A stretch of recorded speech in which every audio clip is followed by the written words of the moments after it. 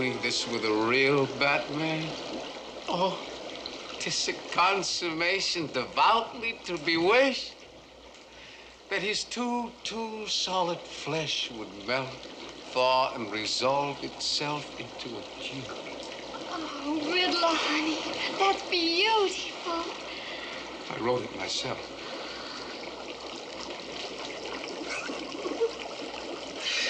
Little do they suspect the real reason why I stole the wax figure of Batman.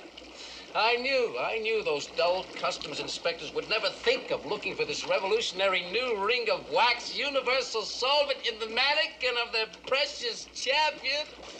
Big deal. Wax is wax. What's so special about this stuff? Oh, you don't know, my pretty little moth.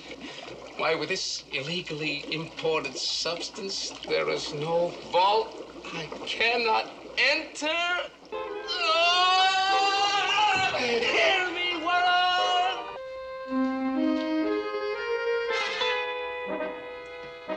Ain't he ever gonna move? Yeah, we're gonna get in the vault. Remember, it is better to light one little candle than to curse the darkness.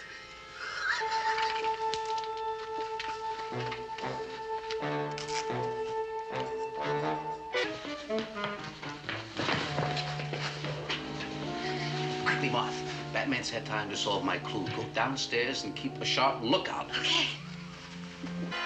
Now remember, no writing in the margins.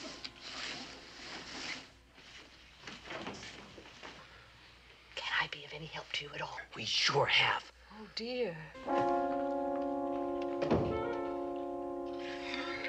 Boss, this is Moth. They're on their way up. It seems you have been overpowered again. You're getting warm. The wax is hot enough now, boss. If they want a lifelike figure of their precious Batman for the Wax Museum, we'll give it to them. We'll even throw in a dividend. Robin! Sticks and stones may break my bones, but names will never hurt me.